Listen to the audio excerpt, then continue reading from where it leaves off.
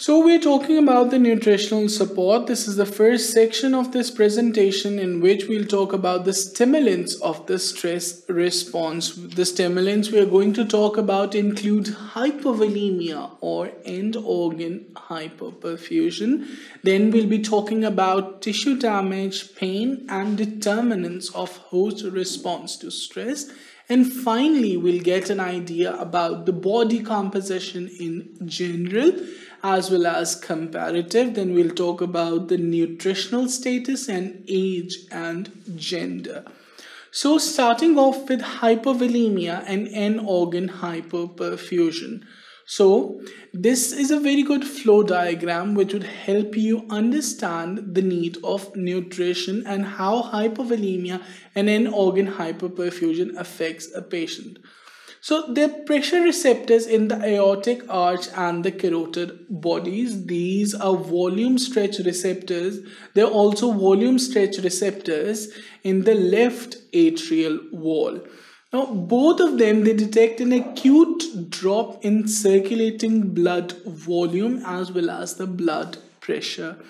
When they detect, they send these signals to the brain. Now, the, this activation of the sympathoadrenergic axis, this activation causes a rise in the stroke volume to maintain a perfusing, a perfusing pressure and this happens at the expense of tachycardia.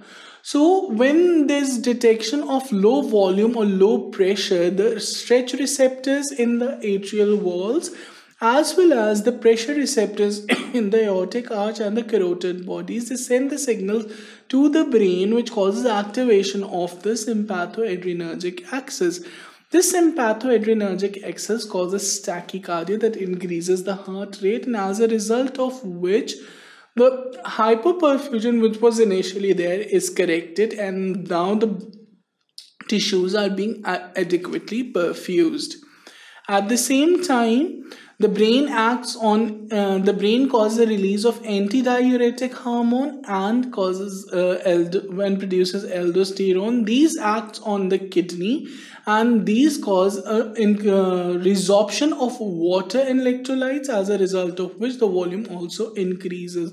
This causes a restore of the circulate restoration of the circulating plasma volume. So this is how the hypovolemia and end organ hypoperfusion is corrected in the human body. Now, if not treated, this would lead to anaerobic metabolism and lactic acid production that would lead to metabolic lactic acidosis. So there's another pathway that can occur if this is not corrected and that will lead to lactic acidosis.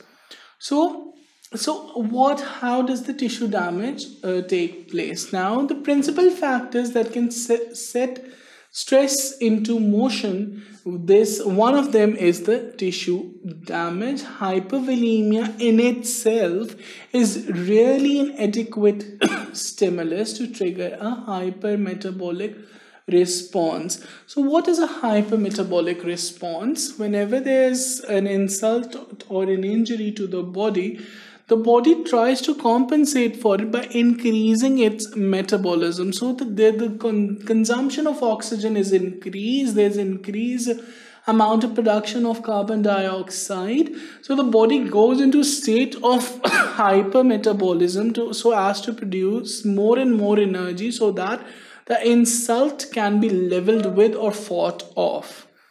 Now, this if there's prolonged hypoperfusion, this can lead to cellular death.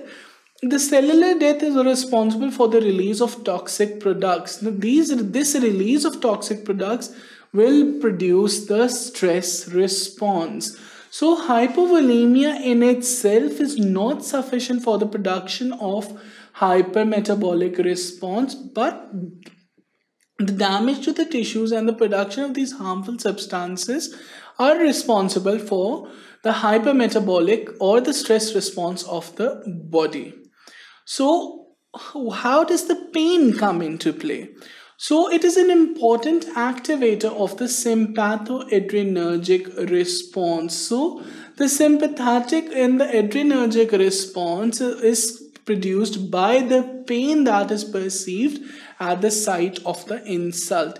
It leads to a catecholamine surge with the metabolic effects of the catecholamine. So the body enters the fight or flight response and there's a metabolic surge in the body. There's local tissue, uh, the local tissue destruction is actually what is perceived as pain. So what exactly is pain? There is destruction of the local tissue and that is perceived as pain. It triggers numerous efferent pathways which prepare the body for fight or flight response. I've talked about it. The sympathoadrenergic pathway is responsible for the fight or flight response of the body. So it triggers numerous pathways. This uh, the pain it triggers numerous efferent pathways which prepares the body for fight or flight.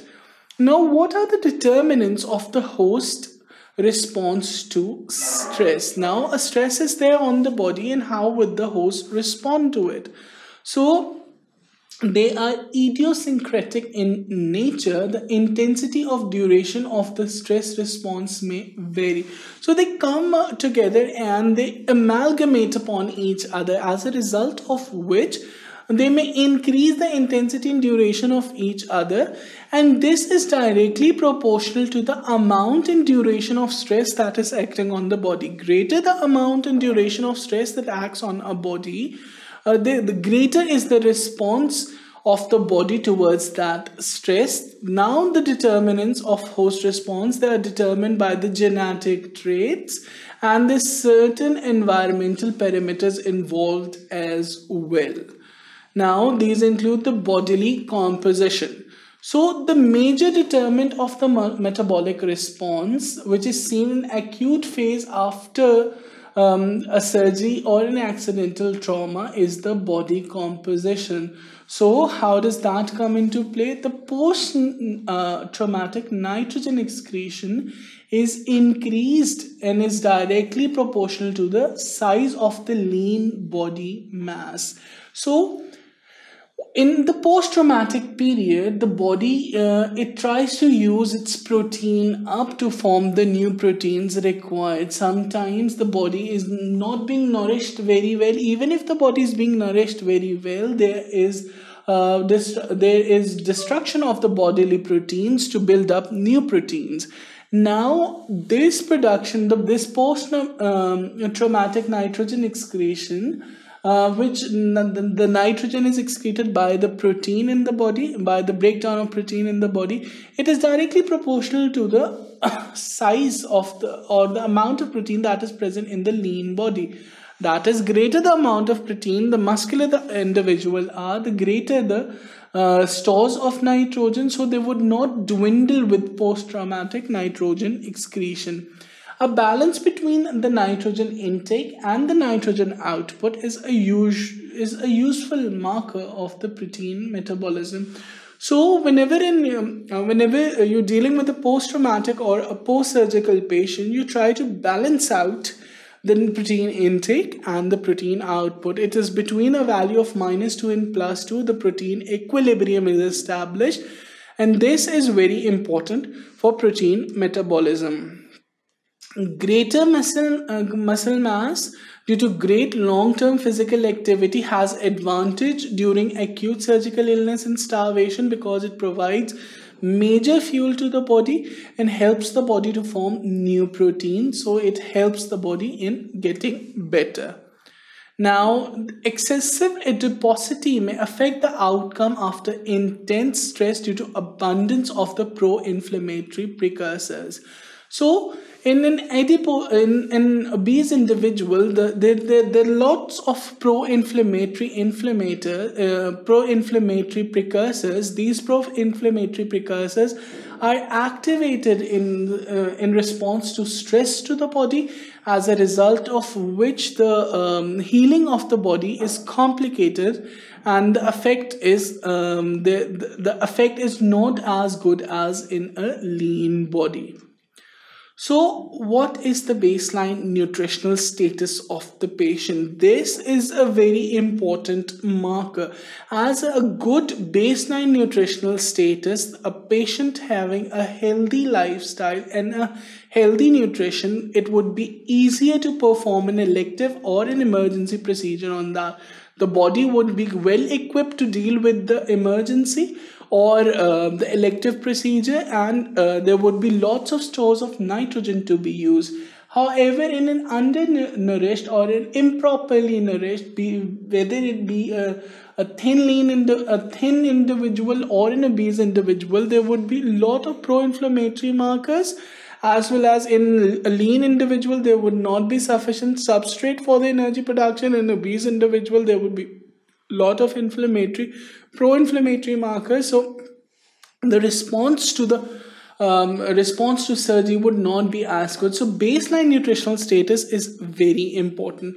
There exists a strong relationship between the pre-operative protein depletion and post-operative complications. So there's a direct relation. Greater the pre-operative protein loss in a disease the greater the chances of developing complications. Protein depleted patients they have lower pulmonary strength and reserve.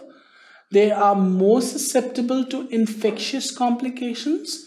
The uh, wound healing in them is impaired and they are in the hospital for a longer duration so these are some of the factors that um, that uh, affect the outcome in a uh, in a patient in a post surgical patient. Now, how do the age and gender come into play? So, here on the x axis, we have age in years. On the y axis, we can see the bone mass, which is the total mass of skeletal calcium in grams. So, uh, this pink is the female curve, and this blue is the male curve. So you can see as the age increases, the bone growth has is increasing. Now the total mass of calcium is increasing. It reaches a maximum at 30 years of age in females and, and about 45 years of age in males. It's, it's actually a plateau in males. It also re- reaches a peak about the same time, about 30 years in males as well. This is the peak bone mass in the in the in males as well as the females. So after the achievement of this plateau in males and these females um, the, the, there's slow convergence there's slow decrease in the plateau as the age progresses. However in the female curve you can see a sudden dip this sudden dip uh, appears after 50 years in between 50 and 60 years of age this is the time of the menopause in females. So estrogen has a protective effect on the bone density and helps to maintain it. Now, after uh, when the uh, influence of estrogen is lost after menopause, the bone density tends to dwindle and decrease. So similar is the case. The, uh, the muscle mass of the women also increase uh, post-menopausally as well uh, as the bone mass. In men, there's no such decrease, there, there's gradual decrease. However, this decrease, this alteration in the body composition with age is very important as whenever you are dealing with a patient, um, if you have to perform an emergency uh, surgery or elective surgery, you need to have an idea of the uh, underlying physiological conditions of the patient's body greater the age of the patient, patient lesser would be the reserves of um, proteins. Bones would be brittle. There would be more fat around the organ so you should have an idea of what you're dealing with so that you can maintain the nutrition of that patient. So this was all about this section. In this section we discussed various nutritional um, um, nutrition uh, we, we discussed we talked about nutrition and the function of nutrition as a whole. Then we saw uh, the bodily comp uh, the various bodily alterations that occur with age and gender. I hope you understood and liked this section. For further such sections keep watching sqadia.com